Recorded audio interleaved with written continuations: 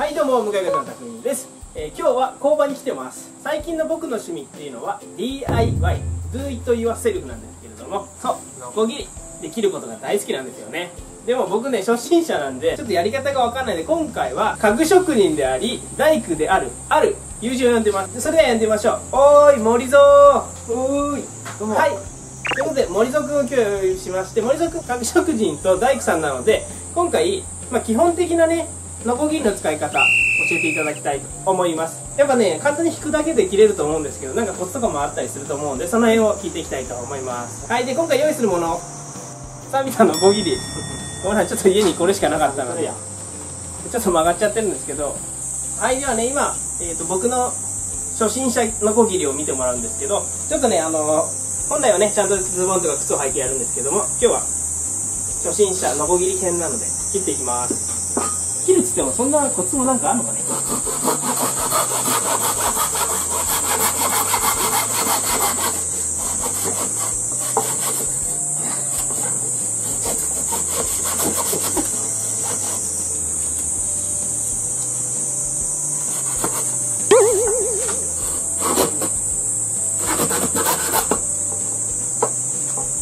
はい切れました。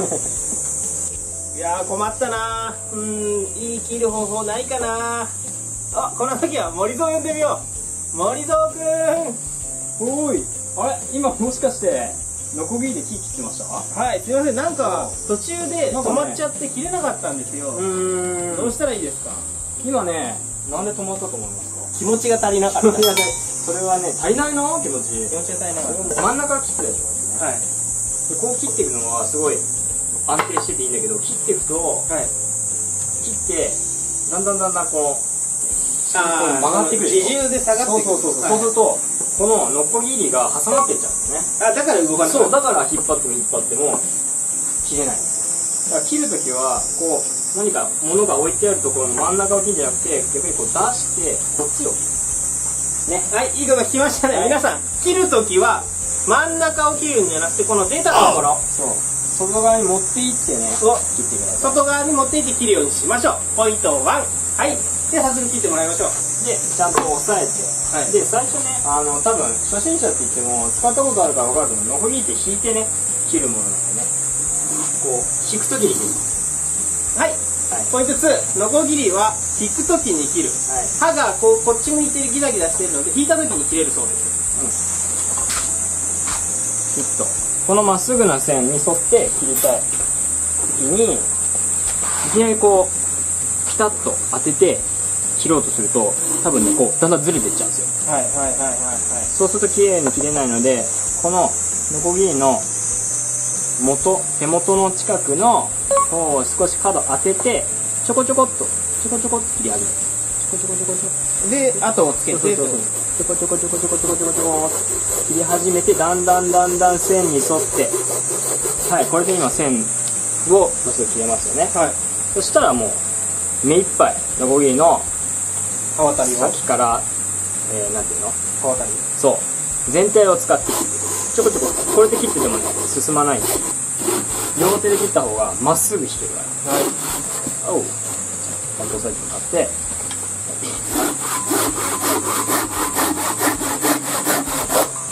はいですねはいこんな感じでえーっとね、切るのに全然ね、コツなんていらねえなと思ってたんですけど、これ今だけで3つ4つね、コツが詰まってたんですよ。割とびっくりしましたね。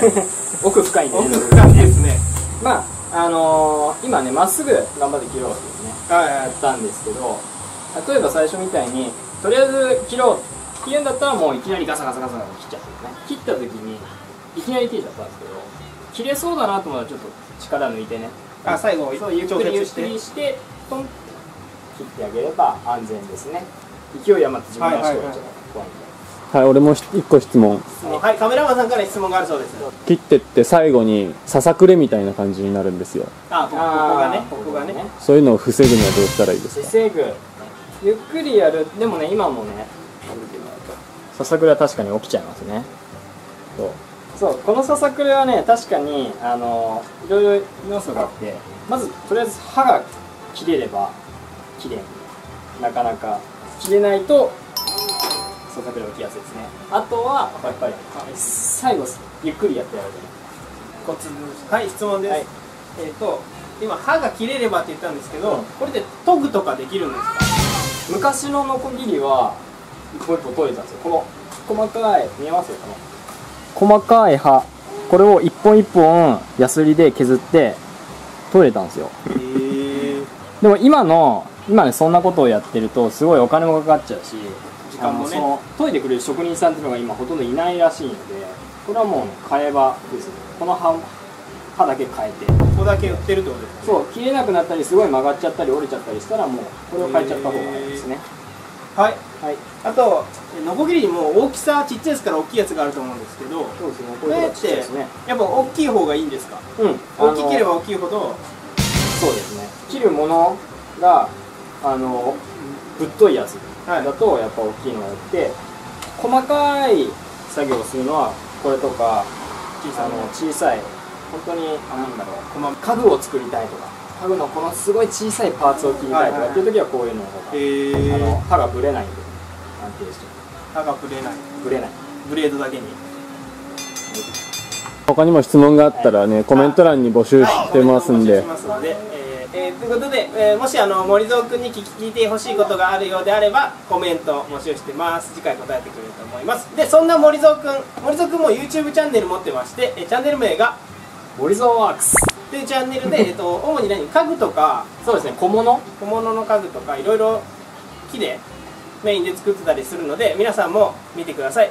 概要欄にリンク貼っておきますので皆さんも見てください。まはいということで今回は DIY 基礎編のノコギリの使い方を教えていただきました。ね次回はトンカチの使い方を教えていただこうと思いますので皆さんも続き見てください。それでは次の動画でまたねバイバイ。バイバイ